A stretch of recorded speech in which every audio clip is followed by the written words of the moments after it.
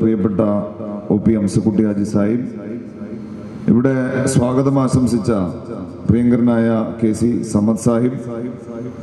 ഇവിടെ പ്രൗഢഗംഭീരമായ ഒരു പ്രഭാഷണം നിർവഹിച്ച സമാദരണീയനായ ജ്യേഷ്ഠ സഹോദരൻ പ്രിയപ്പെട്ട വെട്ടം മാലിക്കോയ സാഹിബ്.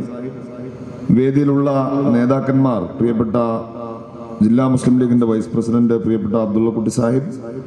പ്രിയങ്കരനായ എൻ എ ബാവഹാജി പ്രിയപ്പെട്ട R K Hameed Sahib A Alikutty Sahib പ്രിയപ്പെട്ട മുസ്തഫ ഹാജി എന്റെ പ്രിയപ്പെട്ട സഹോദരൻ I P Jaleel Jamsheer Kainikkara Suhail K Basheer Haji അടക്കം വേദിയിലും സദസ്സിലുമായി ഈ സമ്മേളനത്തിൽ പങ്കെടുത്തുകൊണ്ടിരിക്കുന്ന നേതാക്കന്മാരെ മുസ്ലിം ലീഗിന്റെയും യൂത്ത് ലീഗിന്റെയും എം എസ് എഫിന്റെയും ഒക്കെ പ്രവർത്തകരെ ഞങ്ങളുടെ ഈ സമ്മേളനം വീക്ഷിച്ചുകൊണ്ടിരിക്കുന്ന പ്രിയങ്കരായ ജനാധിപത്യ വിശ്വാസികളെ പ്രിയപ്പെട്ട നാട്ടുകാരെ ഈ പ്രദേശത്ത് മുസ്ലിം ലീഗ് പ്രസ്ഥാനത്തിന് ഒരു പുരുഷായുസ് മുഴുവൻ ത്യാഗനിർഭരമായ പ്രവർത്തനങ്ങളിലൂടെ നേതൃത്വം കൊടുത്ത ഈ നാടിന്റെ കഴിഞ്ഞ കാലങ്ങളിലെ ചരിത്രം തന്റെ ജീവിതം കൊണ്ട് ആ ചരിത്രത്തിലേക്ക് തന്നെ തന്നെ എഴുതി ചേർത്ത ഇപ്പോഴും നിങ്ങളുടെയൊക്കെ മനസ്സിൽ ഒരുപാട് ആദരവ് നിറഞ്ഞ സ്നേഹം നിറഞ്ഞ ഓർമ്മകളിൽ ജീവിച്ചുകൊണ്ടേയിരിക്കുന്ന മഹാനായ ഒരു മനുഷ്യന്റെ ഒരു ധന്യജീവിതത്തിന്റെ സ്മരണ പുതുക്കുക അദ്ദേഹത്തിന് വേണ്ടി പ്രാർത്ഥിക്കുക എന്നതാണ് ഈ സമ്മേളനത്തിന്റെ പ്രാഥമികമായ ലക്ഷ്യം എന്ന് പറയുന്നത്. പ്രിയപ്പെട്ട പി കെ മുഹമ്മദ് സാഹിബ് ഒരായുസ് മുഴുവൻ സമുദായത്തിനും ഈ നാടിനുമൊക്കെ വേണ്ടി ഓടി നടന്ന ആ മനുഷ്യൻ അദ്ദേഹത്തിന്റെ ജീവിതത്തിൽ ചെയ്തിട്ടുള്ള എല്ലാ സൽക്കർമ്മങ്ങളും സ്വീകരിച്ച് അദ്ദേഹത്തിന് പരലോക വിജയം നൽകി അനുഗ്രഹിക്കുമാറാകട്ടെ എന്ന് ആദ്യമായി ആമുഖമായി പ്രാർത്ഥിക്കുകയാണ്. അങ്ങനെ ഒരു ജീവിതത്തെ നമ്മളിവിടെ അനുസ്മരിക്കുമ്പോൾ ഒരു പ്രാർത്ഥന നമ്മൾ നടത്തുന്നതിനപ്പുറത്ത് നമ്മൾ ഇന്ന് അനുഭവിക്കുന്ന സൗകര്യങ്ങളൊക്കെ എങ്ങനെ ഉണ്ടായി എന്നൊരു പരിശോധനയും കൂടി ഇത്തരം അനുസ്മരണ സമ്മേളനങ്ങളിൽ നടന്നു പോവേണ്ടതുണ്ട്. ഇതൊക്കെ സ്വയംഭൂവായതാണ് എന്നൊരു വാദം ശക്തിപ്പെടുന്ന ഒരു കാലത്താണ് നമ്മൾ ജീവിക്കുന്നത്. ഒരുപക്ഷെ ഞാനിവിടെ ഇരിക്കുമ്പോ പ്രിയപ്പെട്ട ആലിക്കോയ സാഹിബ് മനോഹരമായി പറഞ്ഞു വെക്കാൻ ശ്രമിച്ചതും അത് തന്നെയാണ്. ഇന്നൊരു സമുദായം എന്ന നിലയ്ക്ക് കേരളത്തിലെ മുസ്ലിം സമുദായം നമ്മൾ അനുഭവിക്കുന്ന ഈ സൗഭാഗ്യങ്ങളൊക്കെ സ്വയംഭൂവാണ് എന്ന് ചിന്തിക്കുന്നവർ സ്വയം ഉണ്ടായതാണ് എന്ന് വിചാരിക്കുന്നവരുണ്ട് മറ്റു ചില ആളുകളുടെ ധാരണ എഴുപതുകളോടുകൂടി കേരളത്തിൽ നിന്ന് പ്രവാസ ലോകത്തേക്ക് വിദേശ അറബ് രാജ്യങ്ങളിലേക്കുള്ള ഒരു കുടിയേറ്റം ആരംഭിച്ചതോടെ സാമ്പത്തികമായ ഒരു പുരോഗതി കേരളീയ മുസ്ലിം സമൂഹത്തിനുണ്ടായി. ആ പുരോഗതിയിൽ കേന്ദ്രീകരിച്ചാണ് കേരളത്തിലെ മുസ്ലിം സമൂഹം മുന്നോട്ട് നടന്നത്. അതല്ലാതെ ഏതെങ്കിലും ഒരു രാഷ്ട്രീയ പാർട്ടി എവിടെയെങ്കിലും കൊടി പിടിച്ചോ മുദ്രാവാക്യം വിളിച്ചോ സമരം ചെയ്തോ ഭരണം നടത്തിയോ? കേരളത്തിലെ മുസ്ലിങ്ങൾക്കൊന്നും നേടിക്കൊടുത്തിട്ടില്ല എന്നൊരു വാദം ശക്തിപ്പെടുന്ന ഒരു കാലഘട്ടത്തിലാണ് നമ്മൾ ജീവിച്ചു കൊണ്ടിരിക്കുന്നത് അതിനൊക്കെ അപ്പുറത്ത് ഇപ്പൊ നേരിട്ട് കൊണ്ടിരിക്കുന്ന വലിയൊരു വെല്ലുവിളി എന്ന് പറയുന്നത് ഒരു സമൂഹം എന്ന നിലയ്ക്ക് മുസ്ലിം സമൂഹത്തിന്റെ അവകാശങ്ങൾ ഏതുവരെ എന്നൊരു ചർച്ച ശക്തിപ്പെട്ടു വരാൻ മുസ്ലിം സമുദായം ഒറ്റയ്ക്ക് അവരുടെ ഒരു പ്രശ്നം അവതരിപ്പിക്കാൻ പുറപ്പെട്ടാൽ അവരെ വർഗീയമായി ചാപ്പ കുത്തുന്ന ഒരു രീതി പൊതുവിൽ ശക്തിപ്പെട്ടു വരാൻ. മൂന്നാമത്തെ പ്രശ്നം നമ്മുടെ സമുദായം ആർജിച്ചെടുത്ത ഒരു ഐക്യമുണ്ട്. ഈ സമുദായത്തിനകത്ത് ആശയപരമായി സൈദ്ധാന്തികമായി വിശ്വാസപരമായി ആചാരപരമായി അതിശക്തമായ സംവാദങ്ങളിൽ ഏർപ്പെടുന്ന കുറേയേറെ വിഭാഗങ്ങളുണ്ട്. സുന്നി വിഭാഗങ്ങളുണ്ട്. മുജാഹിദ് സംഘടനകളുണ്ട്. പക്ഷെ ഒരു ഉമ്മത്ത് എന്ന നിലയ്ക്ക് ഒരു സമൂഹം എന്ന നിലയ്ക്ക് സംഘടിതമായ ഒരു കടന്നാക്രമണം മുസ്ലിം സമൂഹത്തിനെതിരെ ഉണ്ടാകുമ്പോൾ ഒറ്റക്കെട്ടായി നിൽക്കാൻ ഈ സമുദായത്തിന് എല്ലാ കാലത്തും കഴിഞ്ഞിട്ടുണ്ട്. അങ്ങനെ ഒരുമിച്ച് നിൽക്കേണ്ടതിന്റെ ഒരു സമുദായം എന്ന നിലയ്ക്ക് നിങ്ങൾക്ക് നേരെ കടമാക്രമണം ഉണ്ടാകുമ്പോ നിങ്ങൾക്ക് വേണ്ടി ഈ നാടിന് വേണ്ടി നിങ്ങൾ ഒരുമിച്ച് നിൽക്കണം എന്ന സന്ദേശം ആരാണ് ഈ ഉമ്മത്തിനെ പഠിപ്പിച്ചത്?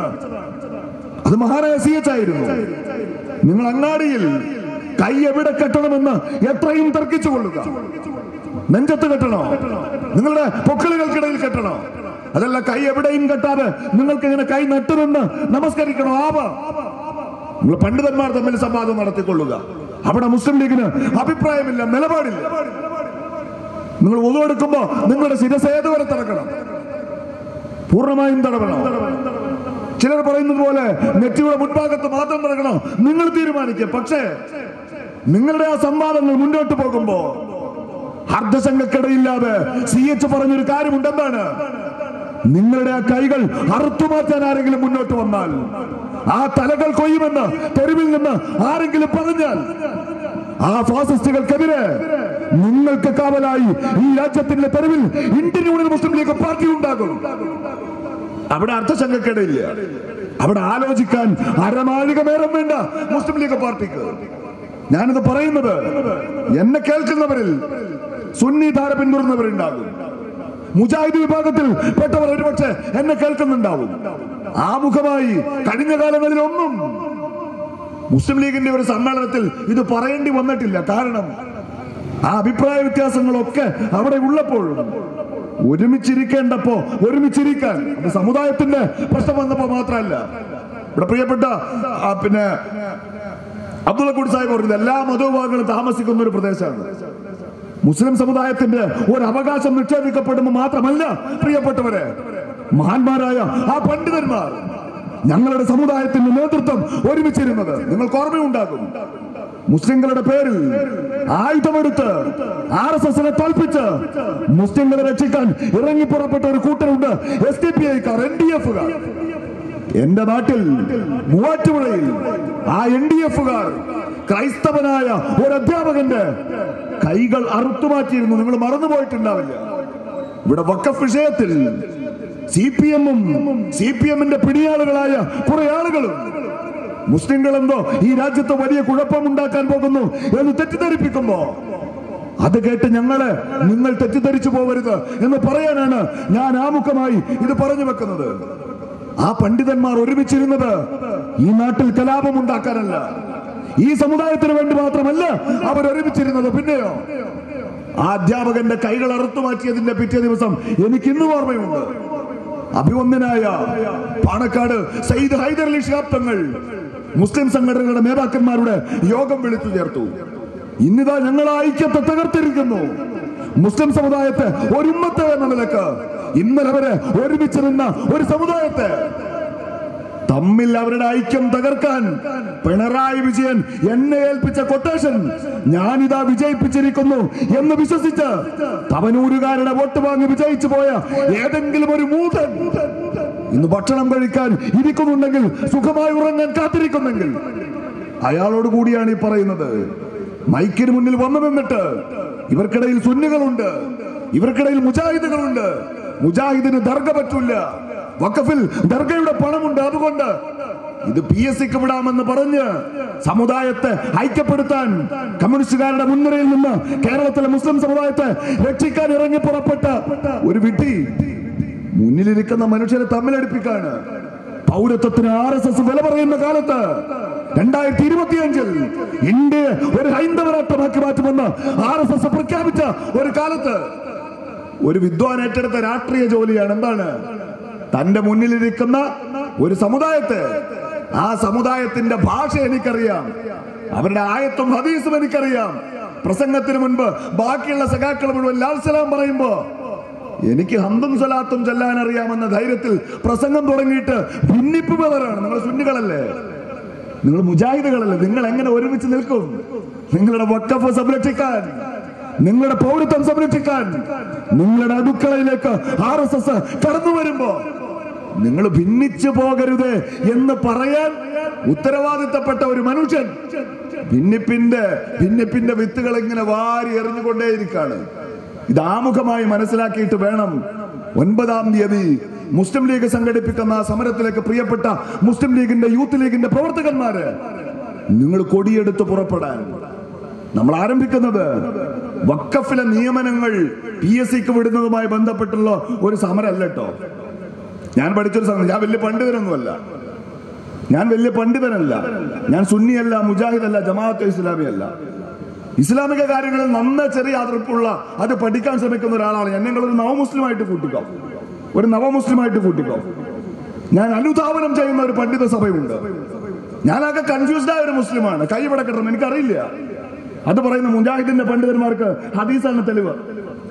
സുന്നികൾക്ക് ഖുർആനും ഹദീസുമാണ് തെളിവ്. ഞാൻ എന്ത് തീരുമാനിച്ചു? പാമരനായ. ഈ ഇക്കാര്യങ്ങളിലൊന്നും വലിയ ധാരണയില്ലാത്ത പാമരന ഞാൻ. എന്ത് തീരുമാനിച്ചു? ഞാൻ ഇവിടെ അറിയുന്ന ഇവിടുത്തെ ആധികാരികമായ ഒരു പണ്ഡിത സഭയുണ്ട്. അവരാണ് എനിക്ക് മസൂൽ. ഞാൻ കൈകെട്ടുന്നത് ഇവിടെയാണ്. അത് ശരിയല്ലെങ്കിൽ ഇരിക്കുന്ന ഉസ്താദ് പറഞ്ഞിട്ടാണ് അവരുടെ അടുത്ത് അവരെ നമ്മൾ അനുധാപനം ചെയ്യുന്നത്. നമ്മുടെ സൗകര്യത്തിനാണല്ലോ എനിക്ക് അവരാണ് ഉത്തരവാദി. ഞാൻ അവർ പറയുന്നത് അനുസരിച്ച് ജീവിക്കാൻ ശ്രമിക്കുന്ന ഇതാണ് എന്റെ ലൈൻ. ഞാൻ പറഞ്ഞു വന്നത് ഈ ഒരു ഭിന്നിപ്പിനെ ശക്തിപ്പെടുത്താൻ ശ്രമിക്കുമ്പോ നമ്മൾ മനസ്സിലാക്കേണ്ട അടിസ്ഥാനപരമായ ഒരു കാര്യമുണ്ട്. എന്താണ്? ഒരു അമലിൽ ഏറ്റവും പ്രധാനം എന്താണ്?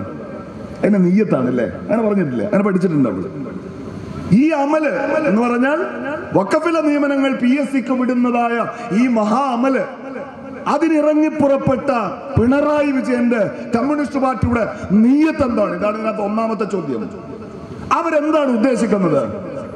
ആകെ കൂടി പി എസ് സി പിന്നെ വക്കം ബോർഡ് ഇന്ന് വരെ നിയമിച്ചത് നൂറ്റി മുപ്പത് ആളുകളെയാണ് ഇന്നിപ്പോ സമസ്തയുടെ പ്രതിനിധി സംഘത്തോട് പിണറായി പറഞ്ഞതനുസരിച്ചതാണെങ്കിൽ അഞ്ചാറ് മാസത്തേക്ക് ഒരു നിയമനം അവിടെ നടക്കാനില്ല. ആകെ ഒഴിവ് വരാനുള്ളത് ഒരു മൂന്നോ മറ്റോ ആണ്. അതിന്റെ കരാർക്കാരെ നിയമിക്കാനാണ് തീരുമാനം. ഒരു അടിയന്തര സ്വഭാവം ഇതിനില്ല എന്ന് പിണറായി എന്ന് പറഞ്ഞില്ല. അതിലേക്ക് ഞാൻ വരാം. അങ്ങനെ അടിയന്തര പ്രാധാന്യമില്ലാത്ത ഒരു വിഷയത്തിൽ ഈ സമുദായത്തിനിടയിൽ വലിയ ഭിന്നിപ്പുണ്ടാക്കി. ഈ തീരുമാനം ഏകപക്ഷീയമായി അടിച്ചേൽപ്പിക്കാൻ നിങ്ങൾ ശ്രമിക്കുന്നത് എന്തുകൊണ്ടാണ്? പ്രശ്നം. ഇത് വഖഫ് ബോർഡിലോ നിയമനത്തിലോ അവസാനിക്കുന്ന ഒന്നല്ല എന്നുള്ളതാണ് പ്രശ്നം അല്ലേ?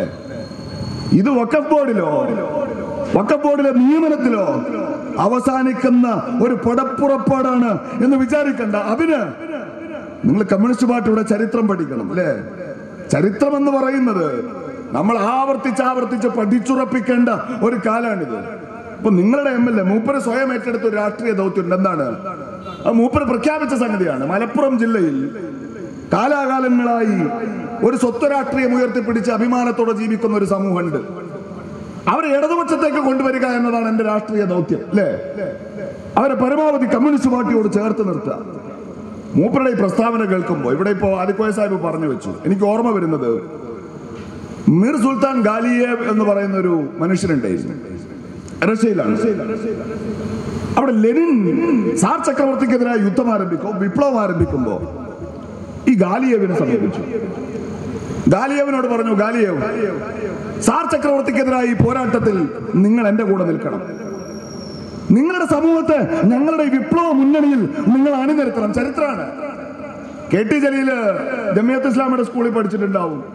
സലഫിയുടെ സ്കൂളിൽ പഠിച്ചിട്ടുണ്ടാവും. അവരുടെ സ്ഥാപനങ്ങൾ ഒരുപാട് കിതാബ് ഓതിയ ആളാണ് ഞാനാണെങ്കിൽ നമ്മുടെ ചെറുപ്പത്തിൽ മദ്രസയിൽ പോലും പോകാൻ ഭാഗ്യം ലഭിക്കാതെ പോയ ഒരു മനുഷ്യനാണ്. അതുകൊണ്ട് ജലീലിന് ആയത്തും അതീസൊക്കെ നന്നായിട്ട് അറിയാം പക്ഷേ ഈ പാർട്ടിയുടെ ചരിത്രം ജലീലിനേക്കാൾ കുറച്ചും കൂടി വൃത്തിയായിട്ട് എനിക്ക് പറയാൻ പറ്റും കാരണം ഞാൻ അവരെ ദറസിൽ ഒരുപാട് കാലം പഠിച്ചതാണ്. ഈ ഗാലിയവനെ ചുമതലപ്പെടുത്തി എന്തിനാ ചുമതലപ്പെടുത്തിയത്? ഈ വിപ്ലവ മുന്നണിയിലേക്ക് ആളുകളെ തരണം. ഗാലിയ ഒരു വിശ്വാസിയായിരുന്നില്ല. അദ്ദേഹം ജലീലിനെ പോലെയൊക്കെ എങ്ങട്ടാണ് ഒരു ധാരണ ഇല്ലാണ്ട് നിൽക്കുന്ന ഒരാളായിരുന്നു. മറ്റുള്ള അതിന്റെ ടെക്നിക്കൽ പദമൊന്നും ഞാൻ ഉപയോഗിക്കുന്നില്ല. പക്ഷേ മൂപ്പര് മുസ്ലിം സമൂഹത്തെ വിപ്ലവ മുന്നണിയിലേക്ക് ചേർക്കുന്ന പണി ആരംഭിച്ചു. റെഡ് ആർമി ഉണ്ടാക്കി. നൂറുകണക്കിന് വരുന്ന മുസ്ലിം ചെറുപ്പക്കാർ റഷ്യയുടെ മുസ്ലിം ഭൂരിപക്ഷ പ്രദേശങ്ങളിൽ സാർ ചക്രവർത്തിക്കെതിരെ കമ്മ്യൂണിസ്റ്റ് പാർട്ടിക്ക് വേണ്ടി പോരാടാൻ ഇറങ്ങി ആ വിപ്ലവം വിജയിച്ചു. ലെനിൻ മരിക്കുന്നത് വരെ ഗാലിയവിന് ഒരു കുഴപ്പമുണ്ടായില്ല. ലെനിന്റെ കാലം കഴിഞ്ഞു. അവരുടെ രണ്ടാമത്തെ ഖലീഫ വന്നു. ആരാണ്? കമ്മ്യൂണിസ്റ്റ് രാഷ്ട്രത്തിലെ സോവിയറ്റ് യൂണിയനിലെ രണ്ടാം ഖലീഫ ആരായിരുന്നു? സ്റ്റാലിൻ ആയിരുന്നു അല്ലേ? സ്റ്റാലിൻ വന്നപ്പോഴോ? ആയിരത്തി തൊള്ളായിരത്തി ഇരുപത്തിരണ്ടിൽ ഗാലിയവിനെ അറസ്റ്റ് ചെയ്തു. ആയിരത്തി തൊള്ളായിരത്തി ഇരുപത്തി എട്ടിൽ വെറുതെ വിട്ടു. മുപ്പതിൽ വീണ്ടും അറസ്റ്റ് ചെയ്തു. സൈബീരിയയിലേക്ക് നാട് കടത്തി. ആയിരത്തി തൊള്ളായിരത്തി നാൽപ്പതിൽ ഗാലിയേവിനെ റഷ്യയിലെ കമ്മ്യൂണിസ്റ്റുകാർ വെടിവെച്ചു കൊന്നു എന്നാണ്. പിറന്നു വീണ സമുദായത്തിന്റെ മാന്യമായ ഒരു ആവശ്യത്തെ പോലും കമ്മ്യൂണിസ്റ്റ് തമ്പുരാന്റെ പ്രീതി കിട്ടാൻ ഒറ്റുകൊടുക്കാൻ ഇറങ്ങിയ അഭിനവ യൂദാസ് ഈ ചരിത്രം ഓർക്കുന്നവ നന്നാവും എന്നാണ് പറയാനുള്ളത്. സഖാവേ നിങ്ങൾ അവരുടെ പാർട്ടിയിൽ മെമ്പർഷിപ്പ് പോലും എടുത്തിട്ടില്ല അല്ലേ? കോടാലിക്കൈയായിട്ട് ഇറങ്ങി പുറപ്പെടാണ്. എന്തൊരു സ്നേഹമാണ് പാണക്കാട്ട് തങ്ങളോട്. പാണക്കാട് തങ്ങന്മാരുടെ ആരോഗ്യ വിവരങ്ങളിൽ ആശങ്കപ്പെട്ട് പോസ്റ്റില്ല. ഒരു ആശയക്കുഴപ്പമുണ്ടാക്കാൻ. പാണക്കാട് സയ്യിദ് റഷീദ് അലി ഷിഹാബ് തങ്ങൾ. ഞാൻ ചോദിക്കുന്നത് ഈ മുസ്ലിം ലീഗുകാരോടല്ല പ്രിയമുള്ളവരെ. നിങ്ങൾ കണ്ടിട്ടില്ലേ ആ മനുഷ്യന്? ഇവിടുത്തെ മാപ്പിള സഖാക്കൾ ഞങ്ങളെ ശ്രമിക്കുന്ന ഞങ്ങളുടെ സഹോദര സമുദായ അംഗങ്ങൾ. അദ്ദേഹത്തിന്റെ പേരിലാണ് പച്ചക്കള്ളം പ്രചരിപ്പിച്ചത്. എന്താണ്? അദ്ദേഹവും മായിനാജിയും കൂടി ഒരു തീരുമാനം എടുത്ത് അങ്ങോട്ട് കൊടുത്തു. എന്ത്? പി എസ് സിക്ക് വിട്ടുകൊടുക്കണം. ഇന്ന് Indian Union Muslim League party ഈ നിമിഷം ഇന്നത്തെ ദിവസം രാവിലെ സമസ്തയുടെ അഭിവന്യരായ പണ്ഡിതന്മാരുടെ മുഖത്ത് നോക്കി കേരളത്തിന്റെ മുഖ്യമന്ത്രി സഖാബ് പിണറായി വിജയൻ പറഞ്ഞ ആ നുണ ഞങ്ങൾ പൊളിച്ചടുക്കിയിട്ടുണ്ട്. ആ തീരുമാനമെടുത്ത് ഞങ്ങൾ ഇങ്ങനെ ഒരു ഓർഡിനൻസ് കൊണ്ടുവന്നിരിക്കുന്നു.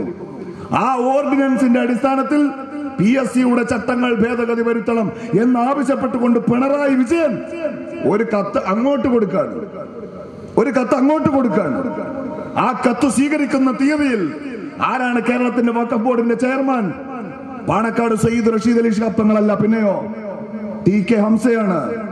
എം സി മായനാജിയുടെയും പി വി സൈനുദ്ദീന്റെയും നിയോജന കുറിപ്പോടെയാണ് നിങ്ങളിത് എടുത്തത് അപ്പൊ കള്ളം പ്രചരിപ്പിക്കുക.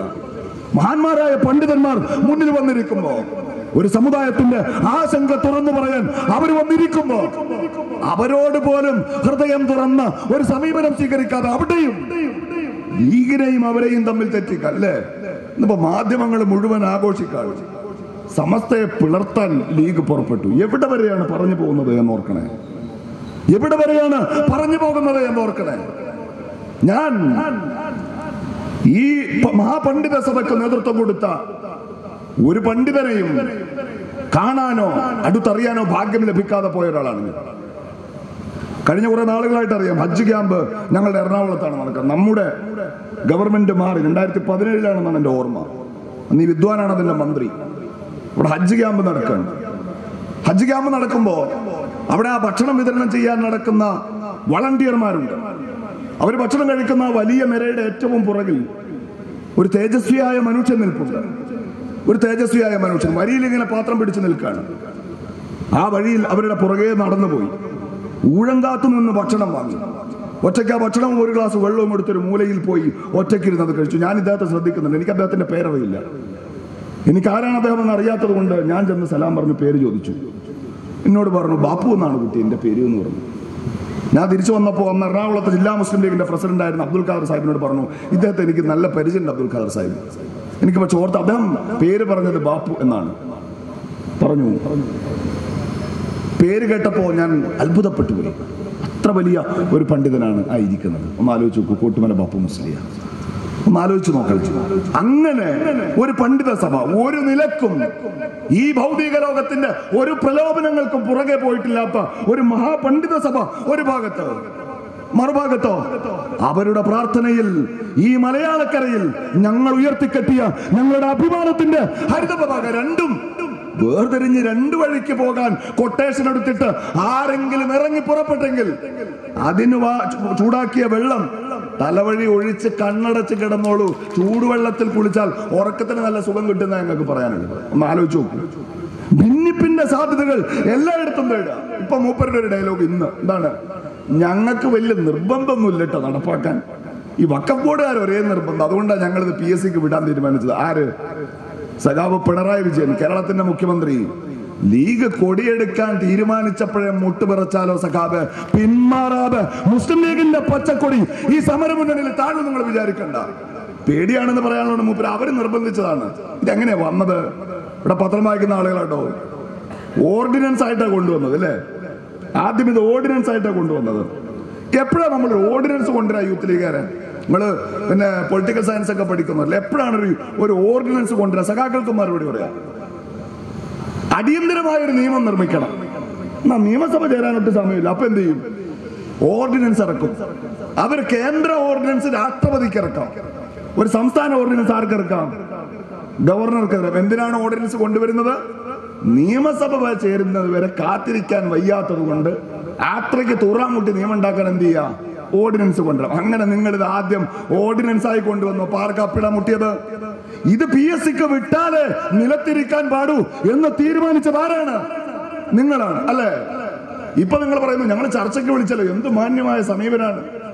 എന്തൊരു മാന്യനാണ് പിണറായി വിജയൻ പറയുന്നത് സഖാക്കൾ? ഈ കേരളത്തിന്റെ നിയമസഭ ഈ ബില്ല് ചർച്ചക്കെടുക്കുമ്പോ ആ സഭയ്ക്കകത്ത് പ്രതിപക്ഷത്ത് നിന്ന് മുസ്ലിം ലീഗ് പാർട്ടിയുടെ കോൺഗ്രസിന്റെ യു ഡി എഫിന്റെ എം എൽ എമാർ നിങ്ങളോട് ആവർത്തിച്ചു പറഞ്ഞു ഇതിന് പിറകിൽ അപകടം പതിയിരിപ്പുണ്ട്.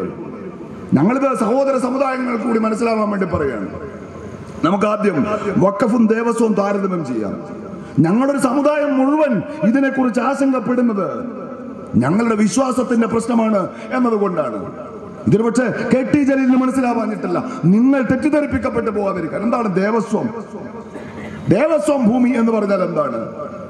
ദേവസ്വം എന്നാണ്. ദേവന്റെ വകയായത് ദേവന്റെ സ്വന്തം എന്നാണ് അല്ലേ? ദേവസ്വം എന്ന് പറഞ്ഞാൽ ദേവന്റെ സ്വന്തമാണ് തൃപ്പടി ദാനമാണ് ദേവന് ദാനം കൊടുത്തതാണ് ദേവസ്വം സ്വത്ത്.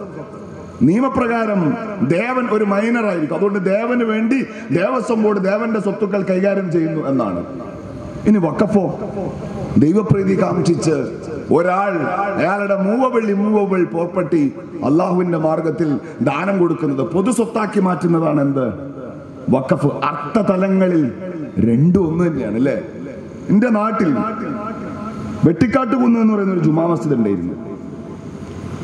ആ ജുമാ മസ്ജിദിന്റെ പ്രസിഡന്റ് ആയിരുന്നു ദീർഘകാലം ഞങ്ങളുടെ അവിടുത്തെ ലീഗിന്റെ നേതാവാണ്. ടി എ എം ബഷീർ എന്നാണ് അദ്ദേഹത്തെ വിളിക്കുക.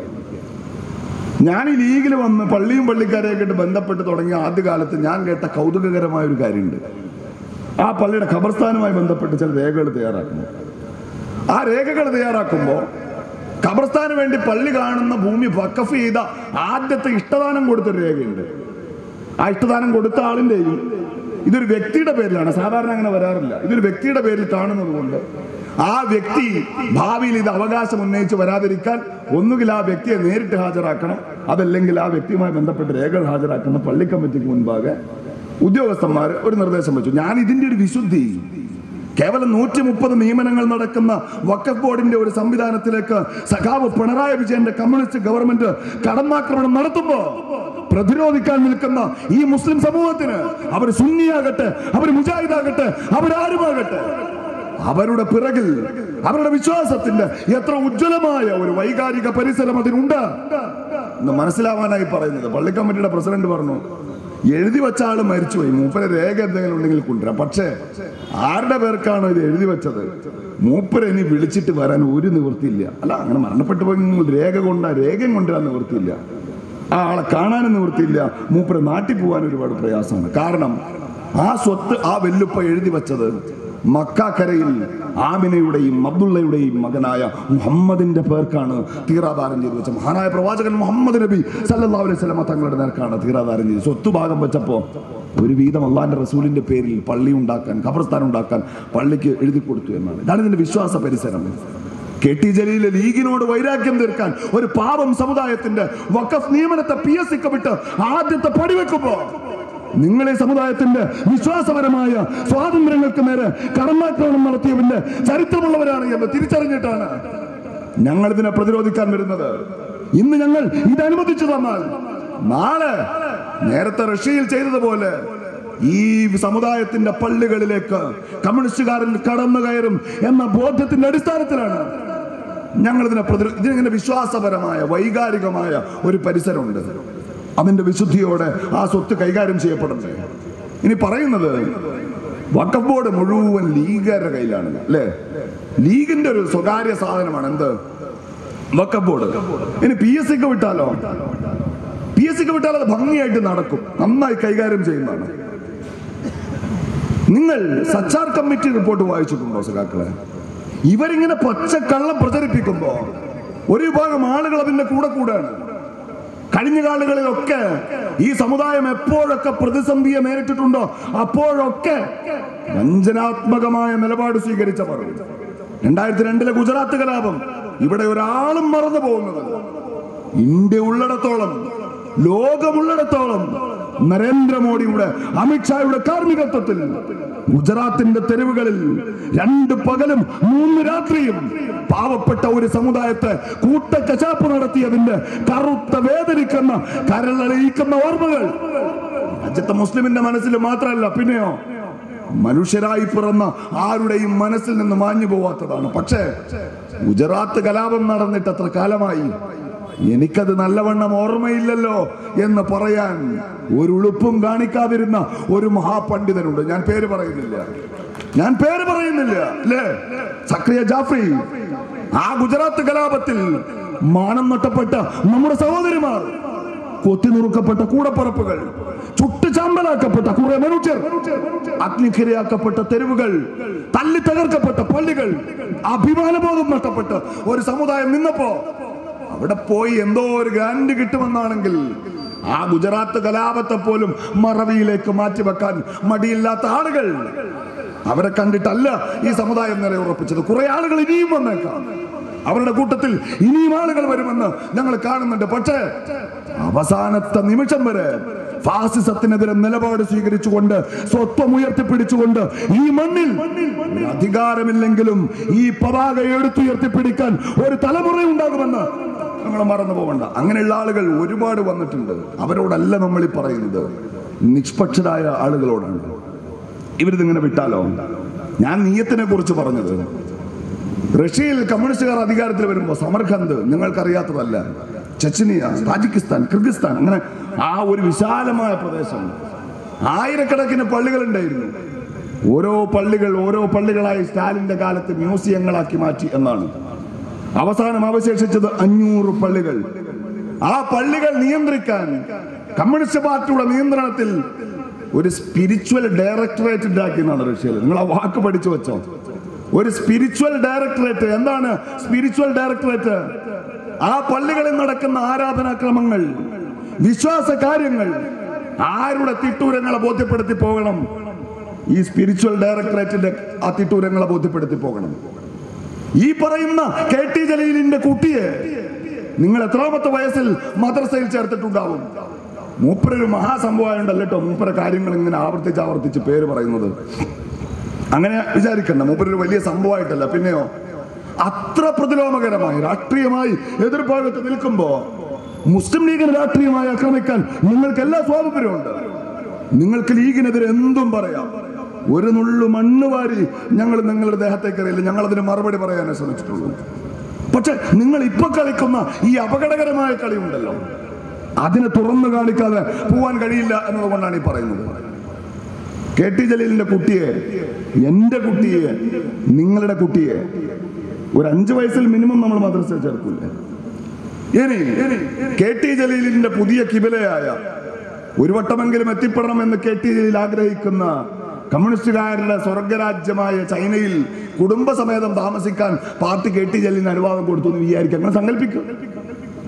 ജലീൽ സാഹിബ് കുട്ടിക്ക് അഞ്ചു വയസ്സായ അന്ന് അങ്ങാടിയിലെ കടയിൽ നിന്ന് മുട്ടായും വാങ്ങി കുട്ടീനെ മദ്രസ ചേർക്കാൻ പോയി. ചൈനയിൽ ഒരു മദ്രസയിൽ നിന്ന് കണക്കാക്കുക. അഞ്ചു വയസ്സായ കുട്ടിയെ മദ്രസ ചേർക്കാൻ കഴിയില്ല എന്ന് മാത്രമല്ല മാപ്പിളസുകാരികളോട് കേട്ട് മനസ്സിലാക്കിക്കോ. അഞ്ചു വയസ്സായ കുട്ടിയെ കമ്മ്യൂണിസ്റ്റ് ചൈനയിൽ മദ്രസയിൽ ചേർക്കാൻ പറ്റില്ല എന്ന് മാത്രമല്ല ആ കുട്ടിയെ മദ്രസയിൽ ചേർക്കാൻ മുതിർന്നതിന് കെ ടി ജലീലിന് ചെറിയൊരു ജയിൽവാസത്തിന് കൂടി പിന്നെ അവസ്ഥ ഉണ്ടാവും അവിടെ. കാരണം ചൈനയുടെ നിയമപ്രകാരം ഒരു കുട്ടിയുടെ മതം അവനാണ് തിരഞ്ഞെടുക്കുക. ഒരു കുട്ടി മുസ്ലിം ആവണോ വേണ്ടയോ എന്ന് തീരുമാനിക്കാൻ അവന് പതിനെട്ട് വയസ്സാകുന്നത് വരെ കാത്തിരിക്കണം നിങ്ങളെ കുട്ടിയാണെന്ന് പറഞ്ഞിട്ട് കാര്യമില്ല. അഞ്ചാം വയസ്സിൽ നിങ്ങൾ മദ്രസയിൽ ചേർത്താൽ നിങ്ങൾ കുട്ടിയിലേക്ക് ഒരു മതം അടിച്ചേൽപ്പിക്കാൻ ശ്രമിക്കുന്നു എന്ന നിലക്കാണ് നിയമപരമായിട്ട് അത് വ്യാഖ്യാനിക്കുക. അതുകൊണ്ട് പതിനെട്ട് വയസ്സ് വരെ കുട്ടികൾക്ക് മദ്രസ വിദ്യാഭ്യാസം കൊടുക്കണ്ട എന്നാണ് കമ്മ്യൂണിസ്റ്റ് ചൈനയിലെ നിയമം. ഒന്നാലോചിക്കൂ. പതിനെട്ടാമത്തെ വയസ്സിൽ പിന്നെ ഈ കുട്ടിയെ നമുക്ക് മതം പഠിപ്പിക്കാൻ പറ്റുമോ അവൻ ആ വിശ്വാസത്തിൽ നിന്ന് എത്രയോ അകന്നു പോയിട്ടുണ്ടാവും നമ്മുടെ വിശ്വാസത്തെ നമ്മുടെ മതപരമായ വിശ്വാസപരമായ ഒരു കെട്ടുറപ്പിന് ഈ രാജ്യത്തിന്റെ ഭരണഘടന അനുവദിച്ചു തരുന്ന ആ സ്വാതന്ത്ര്യത്തെയാണ് ഇത്തരം നീക്കങ്ങളിലൂടെ അവർ ലക്ഷ്യം വെക്കുന്നത് എന്ന് കാണാൻ വേണ്ടി കഴിയണം. ഇനി വക്കഫ് സ്വത്തുക്കൾ സംരക്ഷിക്കാനാണെങ്കിൽ മുപ്പത്തിനാല് വർഷം ഇവർ അധികാരത്തിലിരുന്ന ഒരു സംസ്ഥാനമുണ്ട് പശ്ചിമ ബംഗാൾ അല്ലേ? സച്ചാർ കമ്മിറ്റി റിപ്പോർട്ട് പശ്ചിമ ബംഗാളിലെ വക്കഫ് സ്വത്തുക്കളെ കുറിച്ച് പഠനം നടത്തി ആ പഠനം നടത്തിയതിന് Sachar committee report Sachar committee ഉപയോഗിച്ച രേഖ ഞാൻ ഇന്ന് ഇന്റർനെറ്റിൽ വായിക്കുമ്പോൾ ആയിരത്തി തൊള്ളായിരത്തി തൊണ്ണൂറ്റി അഞ്ചിൽ സഖാക്കളോടാണ്. ആയിരത്തി തൊള്ളായിരത്തി തൊണ്ണൂറ്റി അഞ്ചിൽ സഖാവ് ജ്യോതി ബാസു പശ്ചിമ ബംഗാളിന്റെ മുഖ്യമന്ത്രിയായിരിക്കുമ്പോ ജെ ആർ ഭട്ടാചാര്യ എന്ന് പറയുന്ന അവിടുത്തെ ഒരു ജസ്റ്റിസിന്റെ നേതൃത്വത്തിൽ ഒരു കമ്മീഷൻ വെച്ചു. കമ്മീഷൻ എന്തിനു വേണ്ടിയിട്ടാണ്? പശ്ചിമ ബംഗാളിൽ വക്കഫ് സ്വത്തുക്കൾ എത്രമാത്രം നഷ്ടപ്പെട്ടു എന്നറിയാനാണ്.